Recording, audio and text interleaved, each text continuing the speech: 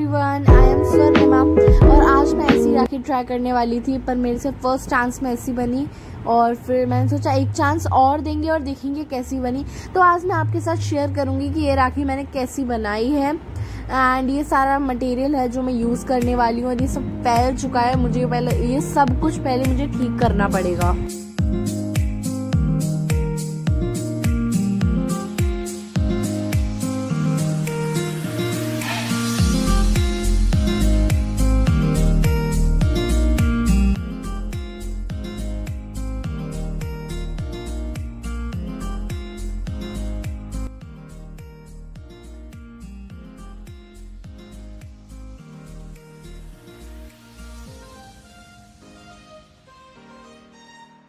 तो गाइस अब सब सब कुछ सेटअप हो गया है। मैंने यहाँ पे कुछ थ्रेड्स लिए हैं। पहला, दूसरा ये कुछ डेकोरेटिंग के लिए मैंने सामान लिया है। उसके बाद मैंने यहाँ पर थोड़ी अपनी खुद की ली हैं बीड्स वगैरह जो भी हैं। एंड फिर वो स्टिकेबल थी, ये स्टिक नहीं होंगे, इनको मुझे डालना पड़ेगा धागे में। एंड देन ये ये जो पिछली राखी की ना, ये थी, वो निकाल और ये ना मैंने इयर से निकाल थी।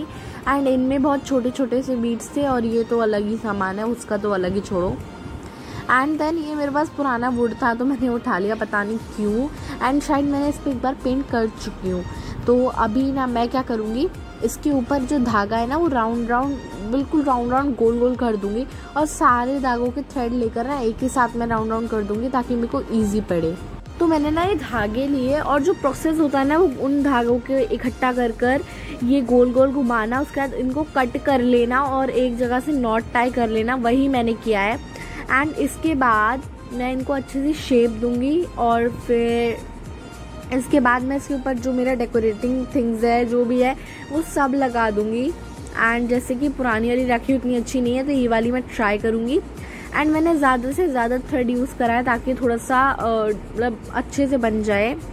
एंड ये मैंने थोड़ा बहुत इसको ठीक से मतलब डेकोरेट करने की कोशिश करी है इस वाली को। एंड आप बताइएगा कमेंट्स में ये कैसी लग रही है? एंड ये बीच में मैंने ओम लगाया जो बहुत अच्छा लग रहा है और मतलब पूरा गोल्डन और सिल्वर थोड़ा सा आ रहा है तो अच्छा लुक दे रहा है। तो मुझे बताना आपको कैसी लगी। अभी के लिए बाय बाय